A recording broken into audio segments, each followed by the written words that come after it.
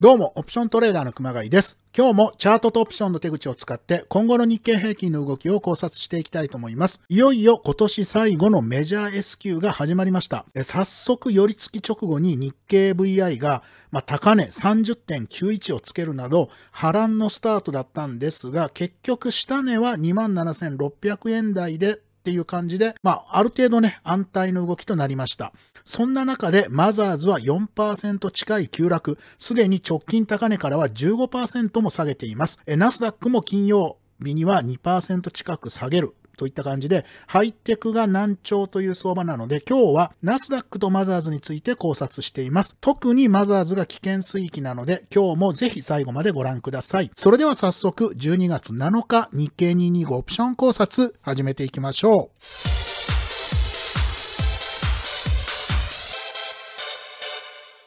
はい。今日のメニューですけれど、今日も引き続きボリンジャーバンドをチェックしています。それからオプション手口、先物手口と見て今日の着眼点という形で進めていきます。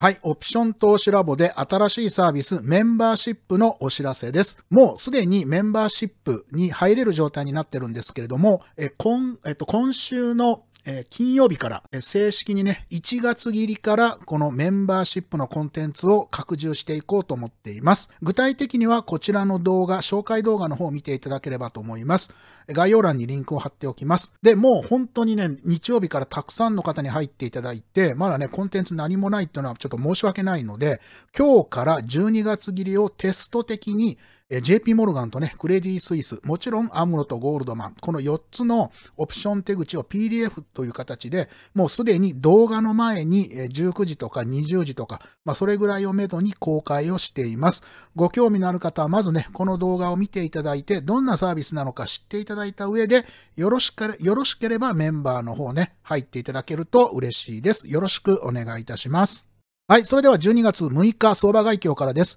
えまず日経平均の終値27,927円ということで102円安、えマイナス0.36%でした。一方、トピックスは1947.54、マイナス10.32のマイナス0.53%でした。そしてマザーズですね。1008.97、マイナス39.81のマイナス3.80%、いよいよ1000ポイント割れというのがね、見えてくるような水準で、直近の安値993ポイントっていう安値に向けてね、もう本当にあとわずかというところで非常に危険な状態になってきています。えもう本当にね、直近の高値、え冒頭でお話をしたようにね、すでに15%下げてますから、かなり個人投資家にとっては痛い今相場になってると思います。え次に売買代金、東証一部は、え今日は2兆5071億円ということで、えまあ、2.5兆円ギリギリというところなので、まあまあ、よくできている方だとは思います。えマザーズが1837億円でした。一方で恐怖指数ですけれども、えビックスが29.58ということで、まだね、30付近にいます。それから日経平均 VI も、これもね、冒頭でお話をしたように、31直前までね、朝方ボーンと跳ね上がって、年初来高値、をつけたんですけどね、VI としてのね、高値をつけたんですけれども、まあまあ、その後ちょっと5番落ち着いて28.94と、まあ、ただね、大引け前にぐっと上がったっていう、ちょっとね、いやらしい動きになって、非常にボラティリティは今高い状況なので、引き続き、まあ S 級種ですから、注意をしてくださいということになります。はい。それではここからは日経平均冷やしのチャートを見ていきたいと思います。今日はここですね。えっと、この黄色い移動平均線、5日移動平均なんですけれども、5MA の上をなんとか、なんとかね、維持することができました。まあ今日、5日移動平均線が27,893円。まあそれに対して終値が927円ということで、30円ちょっとね、なんとか上でまあ、踏みとどまったんですけど、とはいえこの5日移動平均線ね、今なお急降下してる、まあ、かなりの角度で下落してる途中なので、まあ、それをね、なんとか上で耐えたと言っても、まあ、残念ながらね、下髭はついたとはいえ、陰線、高く今日始まったんだけれども、ずるずるっといってしまったと。で、直近の安値っていうのがこの27,630円ぐらいなんですかね。12月1、2、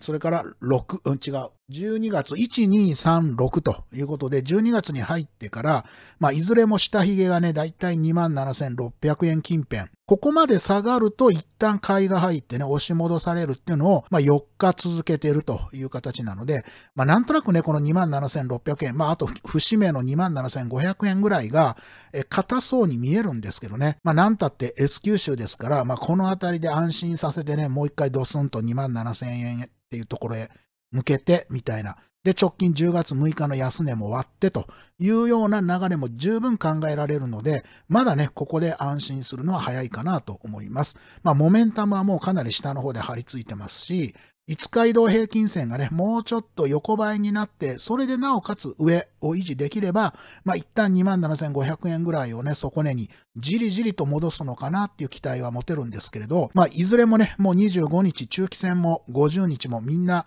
下落になってきてますから、まあかなり上値が重くなってきてるというところで、まああと S q まで3果、まあ、どのあたりになるのかな、まだちょっとね、本当に手口を見ても、チャートを見ても、まあ、本当によくわからない。1日の間でもね、上行ったり来たりしているので、まあ、今のところは27,500と28,000円の中で、動いて、どっちもね、超える気がしないような今状況になってるんですけれども、まあ、それこそがね、まさに、エメジャー S 九州の、例えば火曜、水曜にね、大きく株価が動くっていうことが考えられるので、引き続き注意ね、必要なまあ、もちろん上に跳ねるかもしれないので、いずれにしても、もうね、12月切りはポジションを持たない方がいいような気もしますし、1月切りを仕掛ける場合なんかも、ちょっとね、ボラが高くって上に行くか下に行くか非常に分かりにくい今相場なので、注意をしながらね、ポジション取ってみていただければなと思います。はい、次にボリンジャーバンドを見ておきますけれども、まだまだね、バンド幅がどんどん広がっている中で、この4日間はなんとかね、横ばいっていう形で踏みとどまっていて、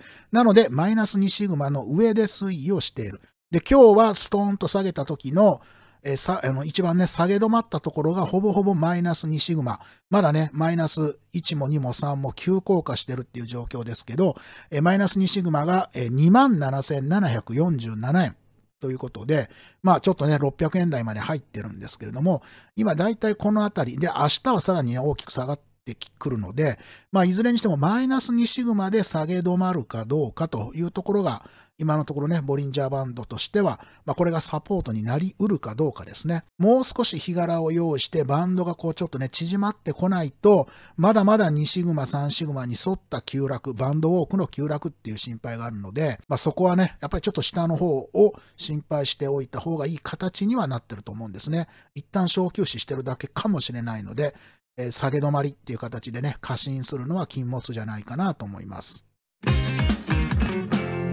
はい。それではここからはオプション手口を見ていきたいと思います。えー、まずは海外勢合算ですけれども、えー、今日はコール側ね、ATM 近辺を少し売って、ファーの方はちょっとだけ買いが入ってると。で、一方でプットは全面的にプット買い。しかも、えー、コールに比べてプットの方が枚数が多いということですから、えコール売りのプット買いっていう、まあね、バランスになっていて、下方向。まあもちろん S 級州なので、まあ当然ね、買い戻しって、決済玉っていうのが、まあ、中心にはなってくるんですけれど、ただ、まあ、今日ね、えっと、月曜日ということで、開示されたエリアが27,750から28,250、ちょうどね、28,000を挟んでの5つの公式価格帯という、まあ一番ね、あの、わかりやすく、まあ鍵となるポイントが開示されていると。で、そんな中、コールサイドは27,750に939枚の、まあ、大きな買い越しということだったんですけれども、その上、28,000と28,250のコールに関しては、500枚近いね、いや、そうそう、200枚、290枚と484枚の売りという形で、で、今日さらにね、ATM 近辺のコールが売られているということで、まあ、ちょっと、27,750にはコールの買いがまだ648枚ある計算なんですけど、28,000円と28,250のコールに関しては、まあ、500枚近いね、売りが双方で入ってきているというところなので、まあね、その上は今日もちょっとね、28,500が259枚買われたり、まあ、ここが今日は売り決済になっていないので、まあ、えっと、29,000円付近のコールが売り決済をされてる気配は今日はない。で、さらにその上はちょっとわかんないですけどね。なので、まあ、まだ少し上に行った時のポジション調整をしているところがあるのかなと思いますけれども、ただ一旦ね、2万8000近辺に1000枚近い売りが入ってるということで、そんなにね、ここに来てやっぱりちょっとコールの方の上がまた少し、えー、期待が持ちづらくなってきたかなというような売り枚数になってると。で、一方の方でプットは、えっと、2万8000よりも上はね、ちょっと売りと買いが交互みたいなところで、まあそんなに枚数はないとはいえ、なんとなくバランスを取ってるのかなと思ってるんですけど、27,750よりも下のね、プット買いが増えてきてるんですね。今日は2万8000円よりも下のところのプットがだいたい1500枚ぐらい買い立てられたような状況になっていて、2万7500のプットに至っては879枚の累計になってきてる。それから2万7000円のプットも467枚の買いということで、2万7750をね、下回った時にはある程度プット買いでちょっとケアをしてきているということを考えると、まあ、ちょっとね、プットサイドは今の ATM よりもちょっと下に行くっていうことを想定してのポジションも入ってきているということなので、まあ今ね、2万8000円円をまあ起点として、そんなに上は見ていない。2万7500から2万8000円ぐらい、まあ、もしくは2万7000円から2万8000円のやっぱりどこかっていうようなね、バランスにちょっとなってきてるのかなという気がしています。はい、次にゴールドマンなんですけれども、ゴールドマンは今日はコールを少し売って、で、プットは買いと売りで、まあ、デビットみたいな形にはなってますけれども、なので、まあ、ちょっとね、やや下っていうところですけど、まあね、もう S q まで火がないんですけど、今日もそんなに入れてこなかった、触ってこなかったという感じになってます。で、まあ、プット27,500を200枚買って、27,000円のプットを150枚売ってということにはなっているので、まあ、あの、ゴールドマンはね、ちょっとプット売りが多めなんですけれども、どちらもコールもプットもまあ売りっていう基調にあって、どちらかというと2万9000円ぐらいが一番、どっちも利益に対してなってないんですけどね、2万9000円ぐらいが一番こう、うんと、利益か損失かギリギリなんですけど、一番高い位置にあるような気がします。で、ただ、27,500のところを、まあ、660枚の買い長に対して今日200枚買ってきてるというところなので、まあまあ今の ATM 近辺ですよね、27,750を下に行った時、まあ、プット売りを結構積んでますから、下に行った時のためにちょっとね、プット買いを入れてきてる。ただまあ、比率から考えたら全然プット買い少ないので、まあ、基本はこの2万8000円から2万9000円ぐらいで、できるだけ2万9000円に近いところがいいなっていうバランスにはなってるような気がします。ただ、下の方のプットの買いをもう少し入れてるかもしれないので、まあ、そのあたりね、下に行った時は、えっと、そこでケアしてるかもしれない。ただ、ATM よりも下の方のプットはね、もうほとんどプレミアムも剥がれているので、まあちょっとね、今回のゴールドマンはオプションの開示されてるところだけから見ると、あんまりよくわからないポジションなのかなっていうのがまあ正直なところですね。はい、次にアムロです。アムロはね、先週週、あの、後半はかなり上に降ってきてたんですけれど、え今日は、まあもちろんね、あの、逆の決済玉っていうのもあるからなんですが、えコールは売り、えプットは買いということで、まあかなりね、マイナスの方のデルタにしてきています。で、個別でまず見ると、2万8000円のところね、これまず残高で1000枚ちょうどの売り越しということになってました。で、さらにその上2万8125のコールもマイナス419ということで、まあ、このあたりね、2万8000近辺はコール売りを結構積んでた。ただまあ、その両サイドはね、しっかりとコール買いを入れているので、まあ、2万8000の近辺は、ちょっとね、売りか買いかっていうのはバランス的にもまあよくわからない微妙な形になっている中で、今日は ATM 近辺は260枚と220枚という形でね、ちょっとコールは売ってきた、まあ、売り決済をしてきたと。で、ただその上28,500は283枚買ってると。ただここはね、残高がまあいまいちまだ今週は出ていないので、もしかしたらここマイナスになって買い戻しをしてるだけかもしれない。で、そう考えると ATM 近辺は、まあちょっとね、アムロの場合は、上も下も、まあちょっとコール売りの方の枚数がえっと、ATM 近辺は多いんですけど、まあ、ただね、28,250よりも上に行った時はコール買いしっかり入ってるので、まあね、あの、コールサイドは上に行ってもいいよというバランスになってるのかなと。ただちょっとここに来て、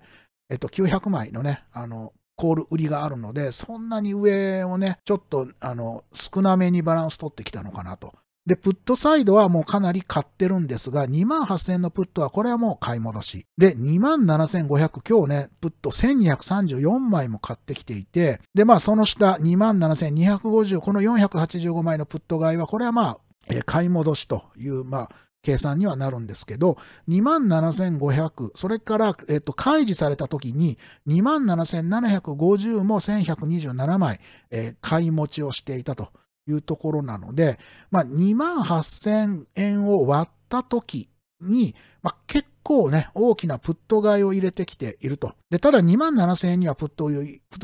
れてきてるので、2万7000円をね、割り込むほどの大きな下落とは見ていないんだけれども、まあ2万8000円、それから2万7750ぐらいを割り込むため、動い、そういう動きになった時のために、えっとまあ約3000万円のね、プット買いを入れてきているということなので、まあここも2万8000円とか2万7750っていうところを起点に、上に行くのか下に行くのかねというか、まあ、どっちに行ってもいいような形でバランスを取ってきたのかなと。少し上の方にね、バランスを振ってたんですけど、まあ、ここに来てね、プット買いで、えっと、下に行った時の調整もしてきたと。まあ、そんな感じに見えます。はい、最後は先物です。今日ね、日経平均マイナス0.36%、トピックスがマイナス0.53%ということなんですけれども、もう先物は私はいつもね、えっと、当月切りしかカウントしていないので、もう12月切りはほとんどのところがロールオーバーということで、もうここ自体はね、もうこの1週間は枚数を見てもあまり意味がない。もう3月切りと合わせてみないと先物の動きっていうのはちょっと読めないので、まあ、あの、こんなもんなんだねっていうところで見ておいていただければと思います。今日はちょっとね、特にここで解説をするというのはしません。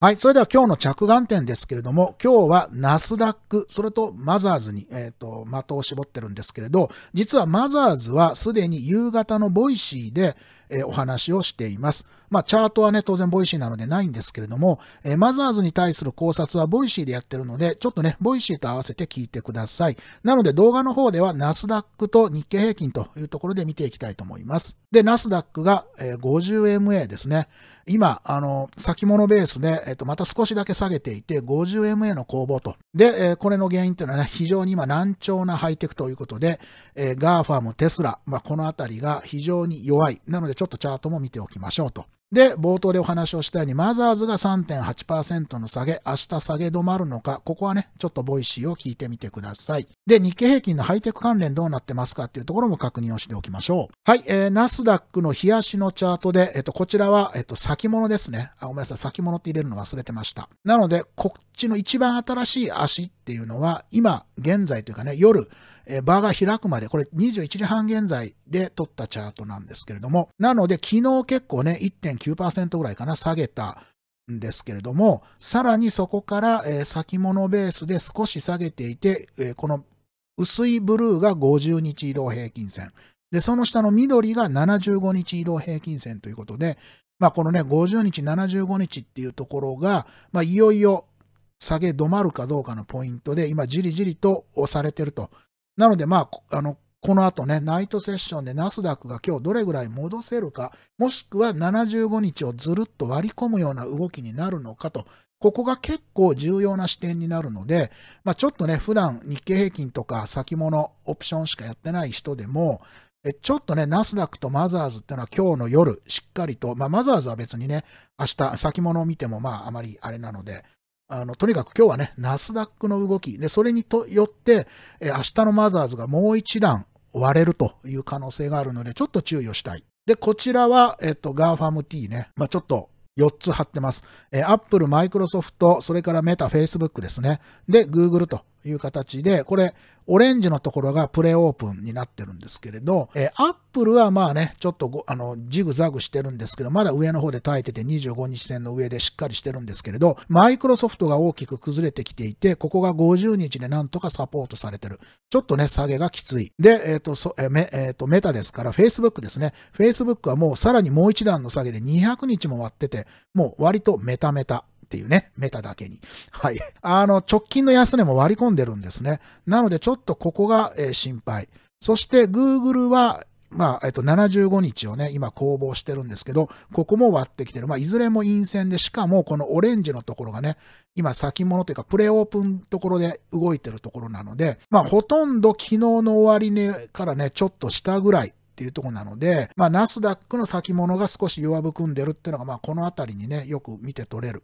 それからもう一つはテスラなんですね。で、テスラは、えっと、昨日大きく下げて、えっと、パラボリックが引転してるんですけれど、さらにそこからプレの位置がね、もう少し下っていうことで、992というような数値で、まあ、1000割れてきてるということなので、この直近のね、あの、イーロン・マスクが自分の株ね、10%ぐらい売っちゃおうかなって言ってズドンと下げて、そこからこう戻してたんですけど、えずるっと来てしまって、その、この間のね、直近の安値、ここ、ここなんですけど、え本当に、本当にわずか、あと0.2%とか、まあ、それぐらいまで来ているので、直近安値、この水準を割り込むと、このあたりで買った人もみんなまたマイナスになるので、えっと、50日、75日っていうところにね、下げ、下げが加速する可能性。なので、いずれも、ちょっとね、 GAFAM T 全部弱いっていうのをね、しっかり見ておいてくださいというところです。で、とはいえね、金利は今ね、雇用統計の後、またずるずるずるっと下がってきていて、これ10年債利回りなんですけれども、え1.4%割れてるんですね。で、今日はちょっと、まあ昨日大きく下げてそこから戻してきてるんですけど、まあ昨日というか週えっと、雇用統計の後ですよね。ズドンと下げて。で、そこから戻ってきてるんですけど、まだ1.4%にも到達していない。まあ、11月下旬からの流れで見れば、1.7%近くつけていた金利がね、もうドドドドドッと1.3%ミドルまで下げるような展開の中で、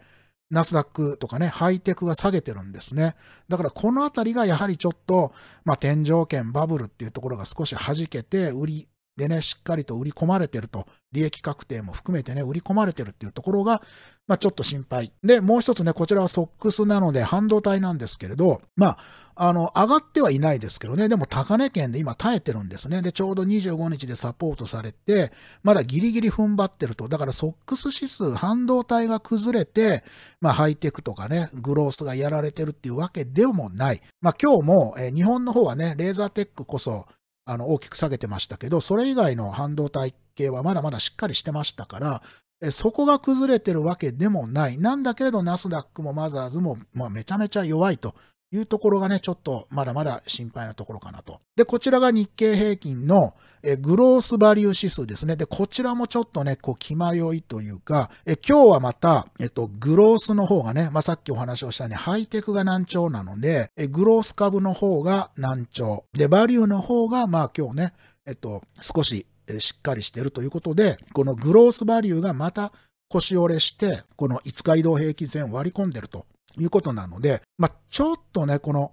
えっと、株価が、まあ、日経平均が上昇するのであれば、この青いグロースバリュー指数がね、こう上昇していく、緩やかに上昇していくというところが期待されるんですけど、また下げてきてるので、明日ここがまたね、クッと上昇していかないと、ここのね、安値を割り込んでくると、まあ、そんなにね、このグロースバリューも上を目指せるような強さがない。まあ、グロースが弱含んでるという結果になるので、まあ、今株価が下がってて、ちょっとね、グロースが、グロースバリュー戻してたんですけど、また今日腰折れしたと。で、また明日戻すかもしれないんですけど、まあ、グロースとバリューはね、交互に下がった方が翌日えっと、買い戻されて、その分だけなんとか踏ん張ってるっていうところのような動きなので、まあ、しっかりとやっぱりね、買い上がれてないんですね、グロースが。っていうところで、まあ、日経平均も、まあ、今のところこの辺でね、もにょもにょとしてるんですけど、こっから強く上に行くっていうのは、まあ、ちょっとね、このグラフを見てるとまだまだちょっと弱いなと。なのでちょっとね、下にずるっと行く方が怖いので、まあ、そっちの警戒を引き続きね、個人的にはしようと思ってます。はい。まとめです。金利低下でもナスダックが売られると。で、ナスダックは 50MA と 75MA、こちらのサポートラインをしっかりと死守できるかどうか、今日のね、相場が非常に大事だと思いますし、ここ崩れると、明日もう一段マザーズが売られる展開になりやすいので、まあ本当にね、危険かなと思っています。で、えっとね、3から5%ぐらい、これ今日 Voicy でお話をしてるので聞いていただきたいんですけれども、8月にね、大きくマザーズも日経平均も下げた流れのところまで、えっと、今回のね、下げで、またいいところまで来てるんですね。なので、この辺で下げ止まるのか、前回と同じぐらいの値幅であれば、そろそろっていうところがあるんですけれど、まあね、ナスダックが今日ここ 50MA、75MA 耐えられるかどうかですね。で、日経平均も同様で上昇していくにはやはりハイテクグロースのところの戻しが必要で、まあ今日みたいな動きをしてると日経平均がね、戻っても、まあなかなかね、上値を追うような状況にはならないんじゃないかなっていうふうに思っています。はい。ということでいかがだったでしょうか？今日の動画も役に立ったぞというところがあればぜひグッドボタンを。そして毎日こんな形でオプション戦略を中心とした日経平均の考察をしております。よろしければチャンネル登録の方もぜひお願いいたします。それではまた次回の動画でお会いしましょう。またね